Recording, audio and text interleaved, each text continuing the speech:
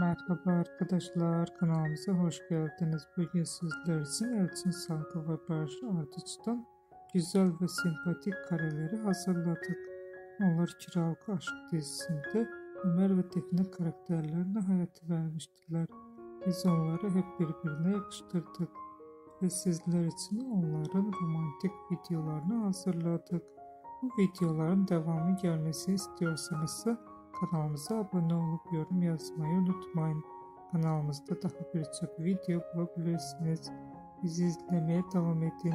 Herkese teşekkür ederiz.